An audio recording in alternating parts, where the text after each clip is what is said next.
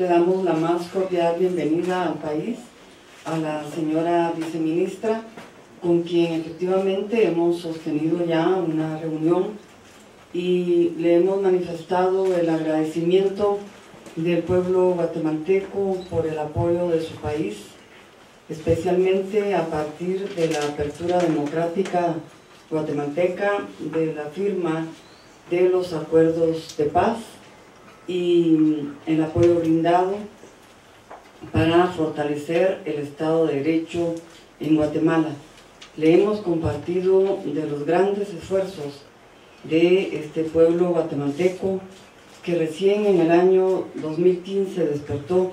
de la tolerancia a la corrupción y a la impunidad.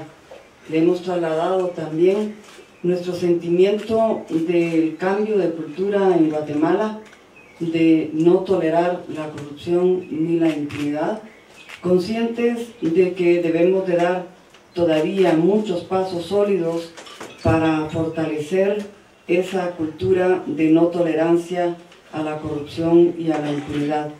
Le hemos comentado asimismo a la señora viceministra de las debilidades del Ministerio Público, especialmente lo que concierne a la ausencia del Ministerio Público en el 90% del territorio nacional.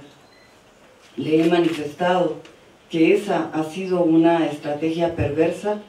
de la manera como se debilita a una institución que es clave en el sistema de justicia del país y que no obstante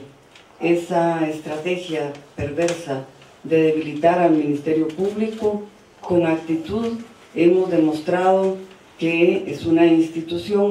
que puede dar resultados positivos en esa lucha contra la corrupción y contra la impunidad.